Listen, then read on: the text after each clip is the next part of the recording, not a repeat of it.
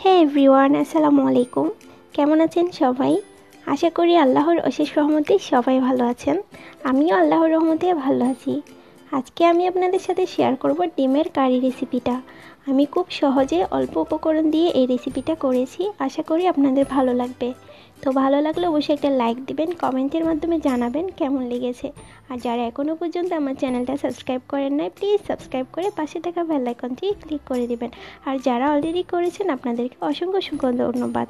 তো চলুন রেসিপিটা শুরু করা যাক।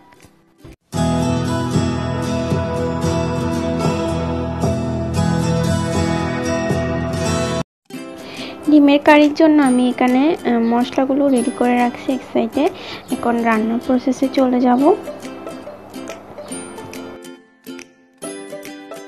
আমি একটা ফ্রাই প্যানে তিন টেবিল চামচ খাবার তেল দিয়েছি, কিছু বেরাস্তা করে নিব। বেরাস্তার জন্য আমি এখানে অল্প কিছু পেঁয়াজ কুচি দিলাম।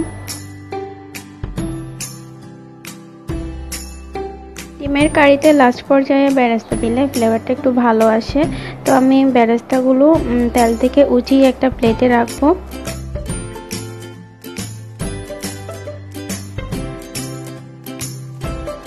এরপরে আমি ডিমগুলো ভেজে নিব।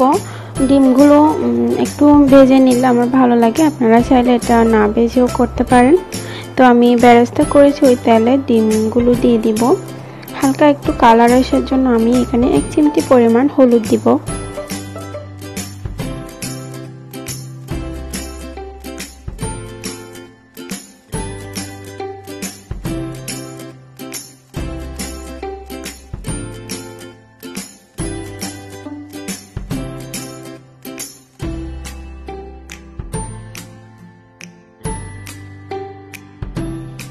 ডিমগুলো ভাজা হলে এগুলো উঠিয়ে রাখব।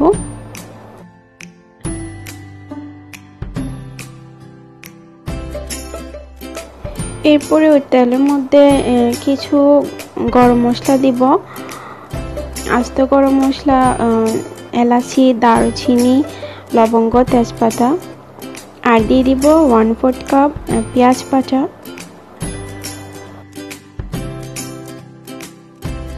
আমি এখানে এক চা চামচ আদা বাটা, এক চা চামচ রসুন বাটা। আর এক চা চামচ জিরা বাটা দিয়েছি।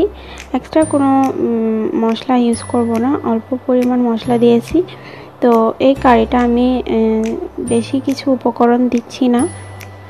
তো কাঁচা মরিচ বাটা দিয়েছি, এক চা চামচের মতো। আপনারা চাইলে এটা স্কিপ করতে পারেন। মরিচটা তেমন ঝাল না। তারপর একটু হালকা ঝাল করার জন্য মরিচটা দিয়েছি। আর হচ্ছে এক চা চামচ দিয়েছি লবণ।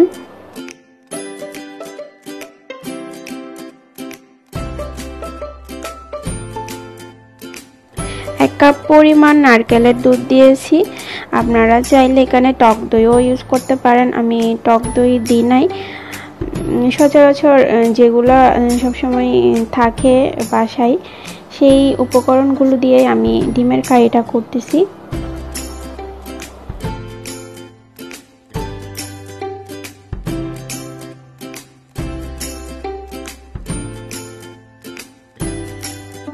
কিছুক্ষণ কষানো হয়ে গেলে এখানে আমি ডিমগুলো দিয়ে দিব।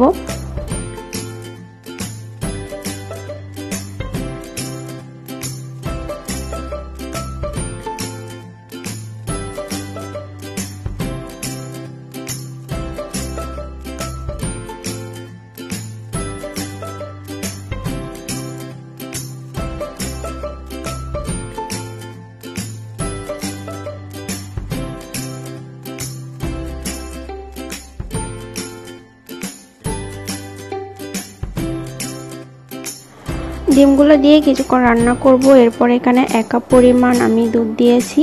আর হচ্ছে কিছু কাঁচামরিচ দিয়েছি ফ্লেভারের জন্য। আর কারি পাতা দিয়েছি অল্প।